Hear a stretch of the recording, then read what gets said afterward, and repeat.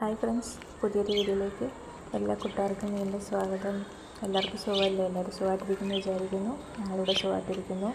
അപ്പം ഇന്നത്തെ വീഡിയോ നമ്മൾ പച്ചക്കറികളൊക്കെയാണ് ഞാൻ ഞാൻ ക്ലീൻ ചെയ്ത് ഓർഗനൈസ് ചെയ്യുന്നതെന്ന് കാണിക്കുന്ന വീഡിയോ ആണ്. അപ്പം നമ്മളിപ്പോൾ വാങ്ങുന്ന പച്ചക്കറികളിലൊക്കെ മൊത്തം കീടനാശിനി അടിച്ചൊക്കെയല്ലേ വരുന്നത്? വിഷമായിരിക്കുമല്ലോ. അപ്പോൾ അത് എങ്ങനെയാണ് ക്ലീൻ ചെയ്യുന്നതെന്ന് ഒന്ന് കാണിക്കാമെന്ന് വിചാരിച്ചു.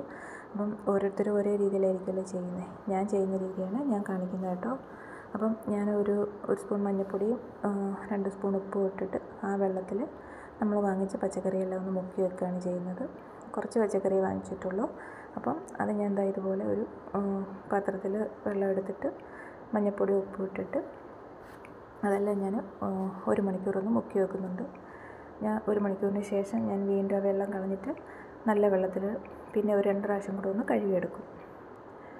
അപ്പോൾ ഇത് ഇങ്ങനെ വാഷ് ചെയ്തിട്ട് അതിന് ശേഷം ഞാനൊരു ടവലിനകത്തോട്ട് ഇതെല്ലാം കൂടെ ഒന്ന് ഡ്രൈ ആവാൻ വേണ്ടി ഇങ്ങനെ വിരിച്ചിടുകയാണ് ചെയ്യുന്നത്. അപ്പോൾ ഓരോരുത്തരും ചെയ്യുന്ന ഓരോ രീതിയിലല്ലേ? അപ്പം ഞാനിവിടെ മഞ്ഞൾപ്പൊടി ഉപ്പാണ് ഉപയോഗിക്കുന്നത്. പലരും പല രീതിയിൽ ബേക്കിംഗ് സോഡ പിന്നെന്താ വിനാഗിരി അങ്ങനെയൊക്കെ ഉപയോഗിക്കുന്നവരുണ്ട്. ഇങ്ങനെയാണ് ഞാൻ ചെയ്യുന്നത് കേട്ടോ. അപ്പം ഇനി ഇതെല്ലാം ഒന്ന് ഡ്രൈ ആയതിന് ശേഷം വെള്ളം ഉണ്ടെങ്കിൽ അതെല്ലാം ഒന്ന് ഉപ്പിക്കളഞ്ഞിട്ട് ഒരു ടവലിട്ട് നന്നായിട്ടൊന്ന് തുടച്ചെടുത്തതിന് ശേഷം നമ്മൾ ഫ്രിഡ്ജിൽ വെക്കുന്നത് ഓർഗനൈസറിനകത്താക്കി വെക്കുകയാണ് ചെയ്യുന്നത്.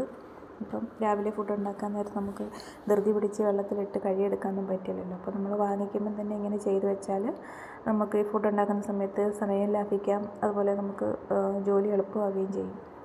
അപ്പം ഞാൻ ഇതെല്ലാം എന്താ ഇങ്ങനത്തെ ഒരു ഓർഗനൈസറിലാക്കി വെക്കുകയാണ് ചെയ്യുന്നത്. ഇത് ഞാൻ ഫ്ലിപ്പ്കാർട്ടിൽ നിന്ന് വാങ്ങിച്ചതാണ് കേട്ടോ ഈ ബോക്സ്. ആറെണ്ണം ഉണ്ടായിരുന്നു. അപ്പം ഇതിലെല്ലാം കൂടെ ഞാനിങ്ങനെ ഓരോന്നിലും ഓരോന്നാക്കി ഇങ്ങനെ റെഡിയാക്കി എടുക്കുകയാണ് ചെയ്യുന്നത്.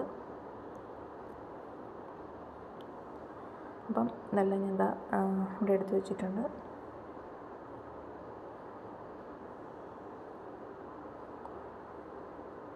ഇത്രയേ ഉള്ളൂ. അപ്പം ഞാൻ ഇതെല്ലാം ബോക്സിലാക്കി ഇനി നമ്മൾ ഫ്രിഡ്ജിലേക്ക് എടുത്ത് വെക്കണം. അപ്പോൾ ഇത്രയേ ഉള്ളൂ കേട്ടോ വീഡിയോ. ഇഷ്ടപ്പെട്ട ലൈക്ക് ചെയ്യണം കമന്റ് ചെയ്യണം സബ്സ്ക്രൈബ് ചെയ്ത് സപ്പോർട്ട് കൂടി ചെയ്തേക്കണേ. അടുത്ത വീഡിയോയുമായി വരുന്നത് വരെ ബൈ